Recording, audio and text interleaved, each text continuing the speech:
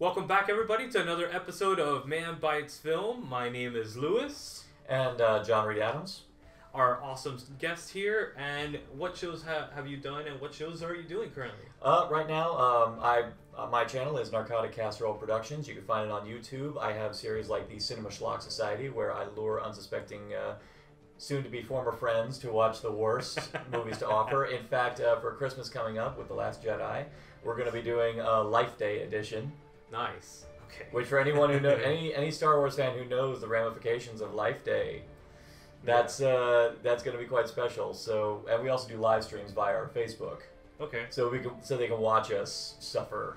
Oh, suffer and I've seen it. some of them, and they're Yeah, great. yeah. They're so good. Um, and uh, but we also have ones called um, the um, close examinations where I just really close, you know, like really dissect certain aspects of fandoms. And for the whole month of November, we've been doing uh, Double November, Yeah. where I'm doing review after review of all the Bond films. So, Yeah. I've saw, seen a couple of them. They're really cool. Like it, you do the the non spoiler um, breaking down the film, but not giving too much away, which is great. Well, it's stood to reason. Pretty much anyone's going to be watching these are obviously Bond fans in their own right, so they've seen the movie, so why bother getting into the synopsis? And Yeah. getting the synopsis means automatic spoiler, so you might as well just jump into dissecting the movie. Yeah, that's true. Yeah. That's very true. So, which movie did you want to review today? Uh, today, actually, I want to focus on a severely underappreciated Ridley Scott uh, film, and which featured Nicolas Cage called Matchstick Men. It was based on a novel, uh, a very short novella by um, Eric Garcia, and it was it's essentially and the book labels it a, a story about con men with issues. and yeah, it's, a, it's it was kind of interesting. I mean, anyone who's ever if you love a good con man movie, this is a great con man movie. Like in actually, many people have associated with uh, Paper Moon. They they kind of put it well in the sense of a con man with his daughter okay, I can see that. kind of thing. All right, That's I can see that. kind of where they go with it. But the, it has an amazing cast. It was a very offbeat film for Ridley Scott of all people to do. Oh yeah. It's a comedy first this, and foremost. This was when he lost his mind a little bit. just a, just a skosh, just a Just a little yeah. This was before he went completely ape shit and, and Yeah. lost his mind and lost his artistic value whatsoever. And then he somehow, some way, even in lieu of Prometheus, still was able to get it back. So he's, he's back Yeah. on top. Yeah, which definitely. says a lot about his ability to adjust to the times. Yeah, I, I'm ashamed to say his, I'm I don't want to speak ill of the dead, but unfortunately his brother wasn't able able to follow suit. Oh, his movies were great. I love his movies. Even when he totally lost Yeah.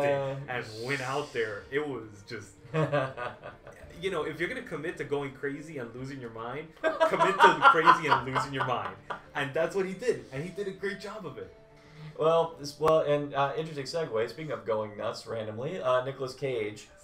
Uh, this is actually, I think, one of his standout performances. I'd easily put it in my top five, principally because he plays a con man who has a very severe case of obsessive compulsive disorder. Yeah. There's an amazing, there's an incredible montage in this film where after he pulls a con, and he's just waiting for the dust to settle on it. He's just sitting there in his house, and there's a like a two, three minute montage of him cleaning this house to the point where he is scrubbing the underside of his bar stools with a toothbrush. I mean, Nick Cage, he a lot of people underestimate him, and if you really watch some of his really great films, like uh, Bring Out the Dead, Yeah. Oh, Oh, Bring Out the Dead is that's another Oh. underrated, not just Nicolas Cage, but very underrated Scorsese.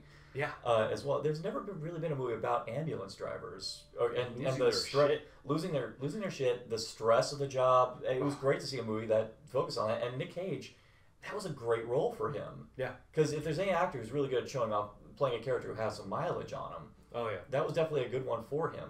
And that's when, and actually it was around that that movie came out relatively around the time we did movies like Adaptation yes. and and this one, and that's when I kind of came to this revelation that he's a, he's really great when he plays a role of a character who's not all there, because it can be argued that he's not really all there. Bad Lieutenant.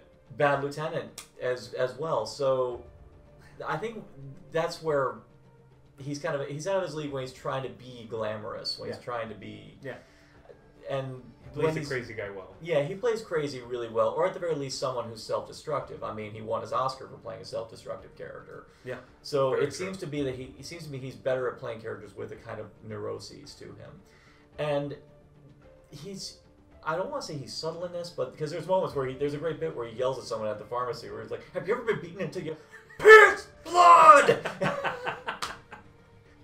And he has those great moments where he- just goes completely over the top, and, and that's but it doesn't feel like it came out of left field because you see him. He's Yeah. he doesn't have the medication. He's he's stre- he's tweaking out on this, so he needs this. So I was, it didn't feel out of place. Whereas in a lot of Um, but Nick Cage, especially when he's working off a really good director or actor, Mhm. that's And- where you see him in his prime. well and Rockwell. and and an incredible script. Uh, by Ted Griffin, who around this point he was just. The another thing about this movie was I it did, it, I missed this one actress, but Alison Lohman, who played Nick Cage's uh, daughter in this, I she um she right after that one she did this movie right after uh, White Oleander came out. Oh God. Oh, that movie was horrible. Wow, the rancor in your voice. I don't. Oh, God. She was the I best thing. remember She was the best thing that in it, man. She was- Oh, jeez. I mean, uh, well, in a fashion, it was kind of like a more down to earth series of unfortunate events because this poor girl was just brutalized True.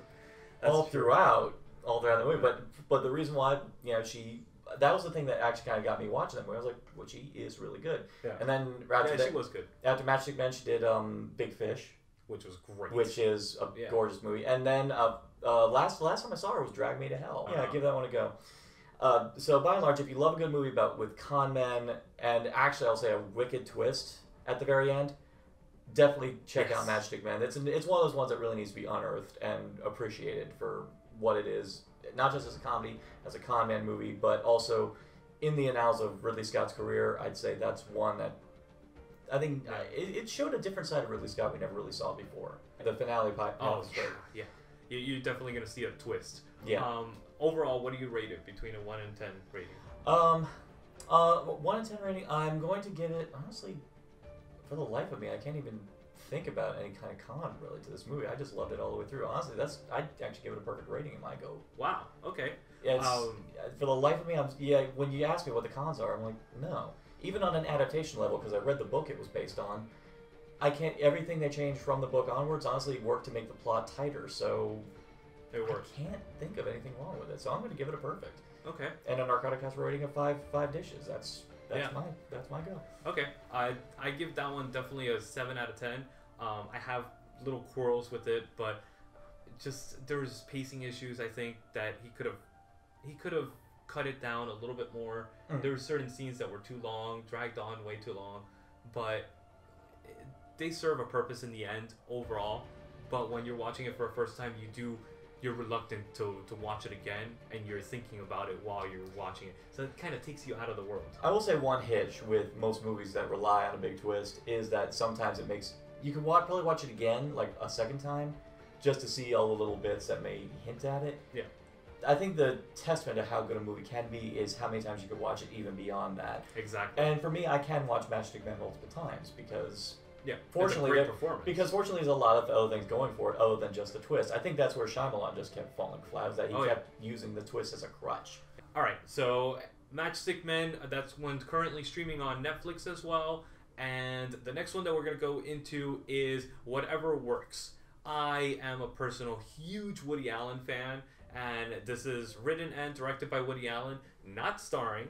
Uh, his replacement star is Larry David, which everybody knows him as Larry David from Yeah. Curb Your Enthusiasm. and Seinfeld. Yeah, I remember. I remember hearing about this. Well, at first when I heard that he was going to be a Larry David movie, I was like going, Yeah. "Well, I guess uh, Woody Allen didn't want to keep playing himself anymore, so he had so he brought in another another he guy to play Woody once in a while. Allen." He does this every once in a Yeah. while. You you see like um what's his name the the one that did Losers um Oh, Jason Biggs. Yes Jason Biggs Yeah. Uh, anything else uh, with it, uh, yeah. yeah. anything else Yeah. with uh, him and Christina Ricci. Yeah. Which uh, that one I did see, and I, I had a bit of an enjoyment of it. It didn't stay with me like um, Sleeper or Annie Hall did, Yeah. but but he he replaces himself a few times. Hmm. He also had um um uh Eisenberg play him in um uh, To Rome with Love. oh, I missed that one. Yeah, that was great, and he has that neurosis feel to him, and he always has a neurotic, just completely out there eccentric character in his films, and Larry David is him. And the great thing about this film is that it actually, it's it breaks down the the, the wall between the, the audience and, and the film. He Okay. actually Larry David is presenting a case to you that whatever works is what you should do in life. That's his case study. So right at the beginning of the film, he's arguing with three people and he's telling them, you know, you just gotta do whatever works in your life. And Hmm. that's my motto. That's I live my life by whatever works for you. That's how you should live your life Awesome. and be happy. And the whole Would you- film is a case study of that. I will say, if you apply that logic to Woody Allen, I think he may have done that a little too Oh, yeah, much. Yeah, yeah, I definitely agree with that. I definitely agree with that. Uh, I love and death. Oh, When I met James Tolkan, love that. when I met James Tolkan So at um at uh, Dragon Con, I talked. I wanted to talk to him about Love and Death. Yeah. and because I was like, I was curious, what is it like to work with Woody Allen? And he and he said like, he, he's oh, he's a very smart man, but the dude doesn't shut up. That's the same thing that John Cusack said Yeah. when I asked him. Ah, bullets over Broadway. Yes. Not only Bullets Over Broadway, Shadows and Fog. Oh. I asked him about Shadows and Fog. Okay. And he was like, dude, this was amazing working with him because he is so knowledgeable and he doesn't give direction. He gives Mhm. a feel. He tells the actor, this is what I'm going for. Do what you can with it. And I'm not going to tell you a single word after that. Huh. You do what you want. The the amount of talent that Oh he's my had work on his movies over Yeah. the years, and there's a lot of people who are pretty much against a lot of things that he's done. But my God, the But- talent list is ridiculous. But evidently they do it because to work with Woody Allen is, is an experience. I mean, the man is a deplorable person as a man. Mhm. He's a deplorable person as a father, and he's just a really bad person overall. Yet he makes a great art, Yeah. and he he makes he's prolific, like no other director I've ever seen. I mean, the man writes and directs a film every year since Annie Hall came out in 1978. now that I think about it, yeah, you're right. I, he hasn't missed a beat on that. So Speaking actually, whatever going- works is Yeah. 2009 streaming Netflix starring Evan um sorry is. Ev- Larry David and Evan Rachel Wood Ah. and uh, what do you call it? Basically, I give this uh, an eight out of ten. It's one of my better, one of the better Woody Allen films in my opinion. well, what's it? I, I haven't seen this one, but what can you give like some kind of clip notes of what it's about at all? It's just basically an analysis of his life and Okay. why he wants, why he's he's protecting and proving to the to the world that whatever works is mm-hmm. the best way to approach life. Okay, so it, It's, it's okay. a case study. All right, so it's oh, all right, so it's I, now I see what you're getting at. Is there's not a typical narrative Exactly. at all? Okay. And he breaks down that, that fourth wall a lot. He talks to the camera all the time, presenting that case to him and saying, "Look, this is yeah, this is why. This is why I'm talking about. This is great. This is great. This this is why we need to do this as our our motto for everything." And it's just basically a case study of that. And if you like Woody Allen movies, if you like Larry David movies or shows, it's very much to that style. It's very New York Jewish uh, comedy, and it's it's very good and very well paced. Now here's an interesting uh, quandary. What would be the movie if you were trying to like tell people to just you know enjoy you know try to get them to open up to them? What would be the movie you'd recommend to people? Annie Hall, Annie Hall? by far, that's on my top five. Unless they're Star Wars fans, because Star Wars fans hate Annie Hall. No. For once, yeah, anyone who knows, yeah. the reason why is because Annie Hall took the Oscar from it. Yep. Um, the one I tell people to watch because I think it's actually the most accessible is I, I, I would say Sleeper. Really? Yeah, You think so? yeah, because it's very dated. A lot of people might get turned off by the well, dating. for, well, fortunately, the thing about that one, well, that was kind of a deliberate choice on Allen's part because the humor is very Chaplin-esque, which is ironic because it takes place in the future. Yeah.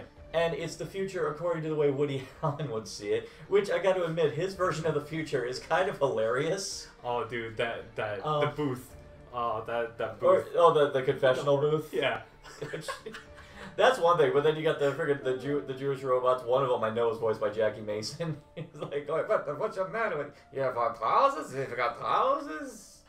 Uh, that's another one for for theater buffs. Actually, there was a play he wrote called uh, "Don't Drink the Water." Okay. Um, great play. A long time ago, it was made into a very bad movie. You can tell Allen had nothing to do with it, but it, it bastardized the play. Yeah. But uh, for HBO, I think it was HBO. Yeah, it he- was. Yeah, he did a uh, much better film adaptation with Michael J. Fox, uh, Mayim Bialik. Match point. Yeah. Match Point. Um, That will definitely be the modern version of Annie Hall for Woody Allen. I think that one will be more identifiable to a modern audience. I will say that one. Um, yeah, I agree with that wholeheartedly. I think when I watched it, I kind of was blasé on it, principally because the plot of Match Point was pretty much a full-length feature-length version of one of the side plot, the B plot in Crimes and Misdemeanors. yes. Yeah. I just remember vividly just going, I mean, he reuses a lot of stuff. He recycles a lot of stuff in his movies. yeah, But I mean, they're great. They're they're well done. Mhm. And come on, Scarlett Johansson. Scarlett, yeah, Scarlett Johansson was she amazing. kind, she in kind of became movie. his she kind of became his uh, Tippi Hedren for a. Do you ever hear the story about what led to him get buying Clerks? no. Oh yeah, yes. Well, yeah. If On you want, 20th actually, I won't. Yeah, we're, we're running for, for a while, but I'm going to tell you. Uh, if you want to see this story, uh, on the Clerks uh, DVD, I think it's on the Blu-ray as well. There's a great documentary called The Snowball Effect. Yes. And that snowball effect in question relates to when Harvey Weinstein. and it gives you it gives you the motivation that if you are an upcoming artist that play to theaters go to festivals even if nobody's at your movie all it takes is one person Yeah, and that one person will make it big for you I mean, there's multiple case studies about that yeah. One of the things I've been learning with doing casserole, my view count is is. I'm trying to cure that, but sometimes it all comes down to just the one or two people, the one or two people who see it and want and want you to keep doing more, and that's Exactly. that's what you got to keep doing. It's as what I've as like I say through tenacity we gain true enlightenment. exactly and i mean the same thing with us at man bites film i mean the, the we do it for the fun of it that that's Mhm. what we do it a view oh that's great that means another person shared or or saw this film and was given the point of view that we have about films Greatness and from politics small and everything beginnings. else Greatness from small beginnings. yeah and I mean, look at the community we're already building. We're already working with Yeah, we already- casserole. Yeah, we- uh, yeah. I mean, what else? Like, there's a couple other people that we're already working with. So Yeah. I mean, we're building the community, and that's that's the most important thing. Mhm. I mean, we're all here to help each other. That's Yeah, that's, I mean, honestly, um, that's one. I mean, one of my major inspirations. I mean, you look up what's happening up north with some of the guys up north with Nostalgia Critics, Cinema Snob, yeah, um, Obscurus Lupa, all um, who is it, Linkara, all them. It's because they all happen to be in the same areas together, and and they all do stuff together, and that's just insanely cool. I mean, but and they are stressing this is the new wave as far as Yeah. online entertainment. Band together, team up. That's the way to go. Yeah. So on that note, um, whatever works, definitely recommend it. And it's also streaming on Netflix. Definitely. So I guess in closing, Yep. My Yeah. name is Luis, name is John. and this is Man Bites Film. We'll see you guys next Friday for another episode.